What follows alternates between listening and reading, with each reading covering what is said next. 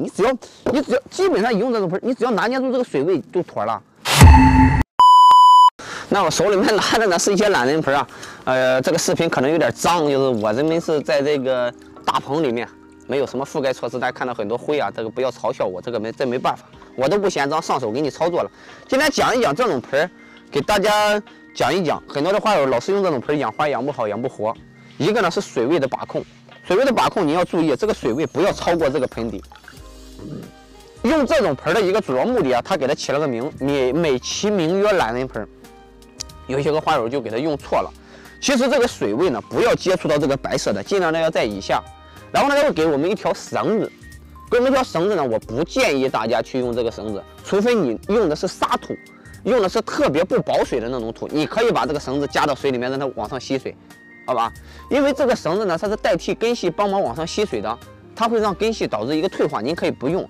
然后咱们加水的时候呢，水位稍微控制一下，尽量的维持在下面一点点。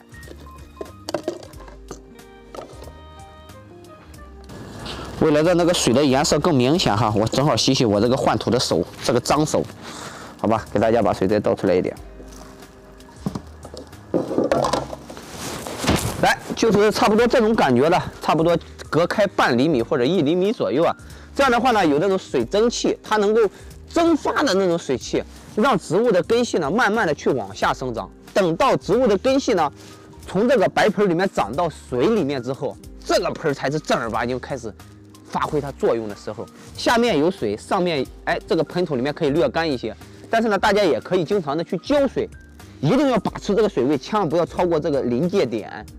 这样的话才是这个花盆的正确用法。很多的花友呢，就是用的水比较多，结子结果呢，导致这个水，这个这个根系呢，时间一长以后就开始烂掉。有的花友理解不了，我总是跟花友们说，干了就浇，不干就不浇，干湿循环。很多花友说，那万一我用这种懒人盆的，我怎么办？那就这么简单喽，你就把这个水位稍微拿捏一下，不就好了吗？它根系长下去了，就不用你管了。基本上盆土里面干了，您就浇，水位一直把持这么高，别让它超过上面。用肥料的话，尽量的用到这个盆里面，还是用到土里面。有花如果可以往水里面加吗？这个是可以的，但是一定要注意比例哈。一般像花多的那种，或者说营养液那种，一般都是一两千倍的一个稀释比例。水里面可以有营养。有话说可以养鱼吗？可以，鱼活不久，好吧？简单的一盖它就行了。懒人盆其实说不是说不能用，他说这个这个能把花多多溶液吸上，这个基本上不用它自己把根长下去，用自己的根，明白了吗？不用别的媒介。这不是问题，你只要你只要基本上用这种盆，你只要拿捏住这个水位就妥了。上面维持干了就浇，不干不浇。这个盆里面，它盆里边不都有土吗？一般，下面你的水位让它蒸馏，就完了。难吗？就说说了一大片，其实就总结一句话：水位不要太高，就妥妥的。毛线可以尽量不用，这个线尽量不要用，好吧？